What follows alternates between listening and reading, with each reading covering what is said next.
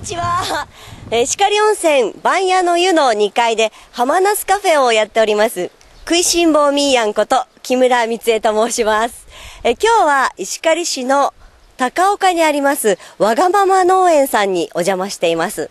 わがまま農園の田中さんです。よろしくお願いします。よろしくどうぞ。なぜわがまま農園という名前にしたんでしょうか？いやサラリーマンやってましてね脱サラでこういうことを始めたんですけれどもやっぱりサラリーマンではわがままできないと いうことでまあわがままをしたいということで、まあ、こういうことを始めたんですけれどもね。自分が言うだけでなく皆さんやっぱり自由にここをわがままに利用してもらいたいということで物を売るというよりもここで皆さん楽しんでもらいたいということが一番の主眼ですね。はい。この高岡の地で採れた石狩の食材を使って、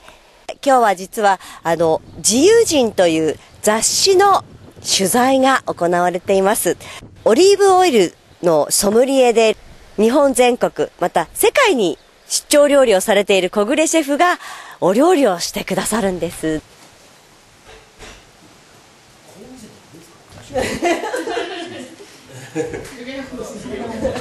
こういい食材があるんだからそれをなんていうか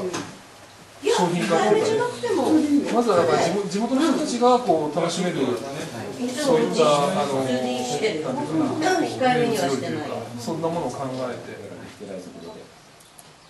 これ油ですよね。ラード例えばミンチに混ぜてハンバーグ作ったりとかね、はい、美味しいですよね。実際にあのメンチカツとですね、うん、ハンバーグ。ああいいね。おおおおおおできてる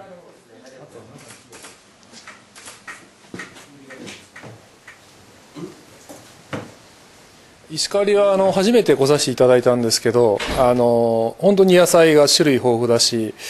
えー、あと海のものもすごく、えー、海産物も豊富。あとは、えー、モーライトンをはじめですね本当に畜産品もすごく充実してて、えー、札幌からこんなに近いところでこんなにこう自然の恵みがですね豊かなところだとは思ってもなかったんですね。ですから